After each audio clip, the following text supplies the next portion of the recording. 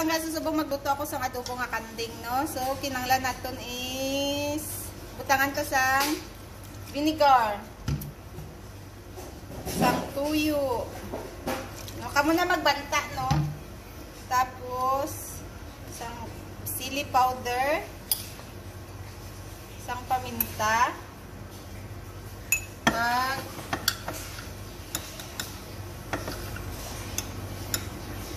asin. Subong i-mix na siya, no?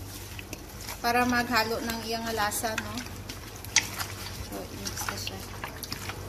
So, ara na depende sa inyo, no? Kung daw tingin matyagan nyo kulang pang iyang ang sibuyas. No? Tapos, halo-halo lang din siya. So, i-mix ta ang luya kag ang sili, no? Ara na, no? So, mix-mix lang yapon. Kaya na ibutang ko na ang aton nga corn. Para nito no. Tapos, saluot na lang siya. Okay. Mga plangga, no? Nagbukal na ang aton nga kanding. Nga plangga, no? Ang aton nga adobo nga kanding. Dali na lang siya maluto. So, ara mga palangga na nagbugang ako sa sili na green.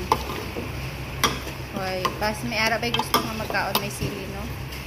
So, luto na ang akon adobo nga kanding. O, sige, luto na siya, no? Ara na siya. Please subscribe and watch my channel. Thank you.